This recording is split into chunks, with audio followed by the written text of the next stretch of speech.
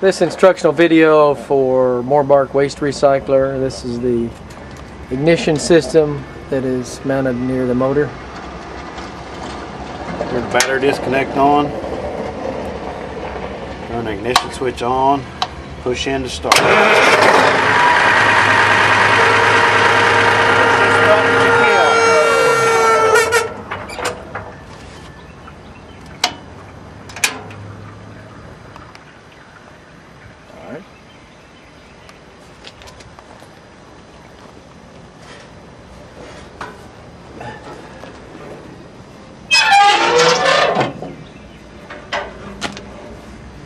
These two levers operate the front outriggers.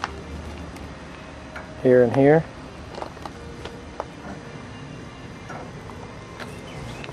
Let's go back up here to the clutch, Jim. Alright, this is the clutch handle. Engaged. Disengaged. It's the discharge chute.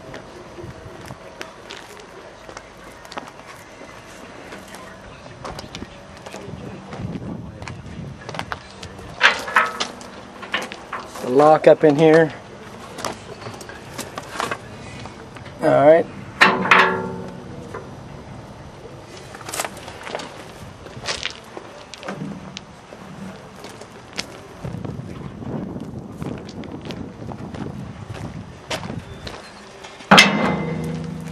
And it has a locking pin over here.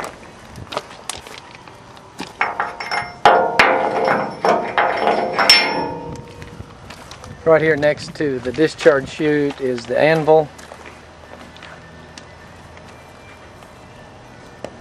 It's used to keep larger items from getting stuck on the drum.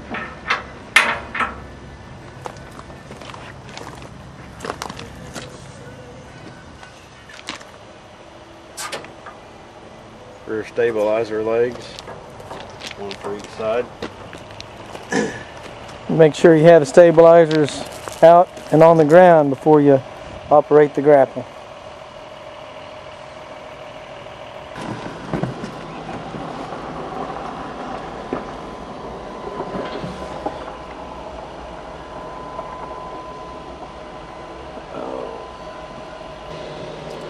You got four handles up here which operate the boom and the grapple.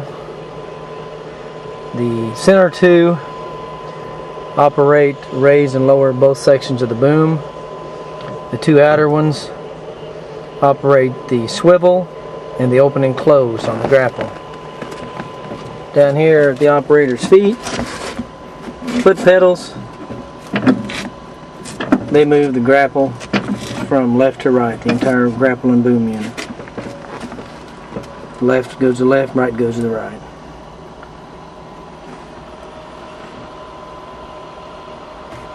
This button operates the anvil in and out, which was showed earlier. The lower button operates the rear uh, clean out in the tub, which is the rear auger.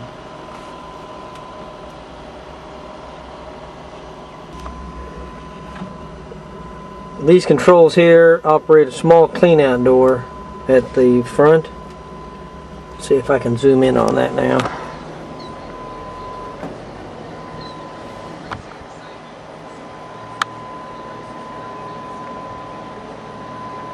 It's right at the bottom of the mill. Just a steel door that opens and closes.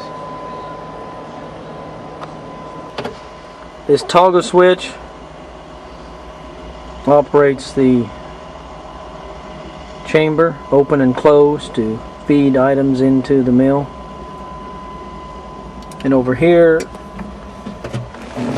is your throttle controls. You have dual throttle controls in the cab and up on the control box next to the motor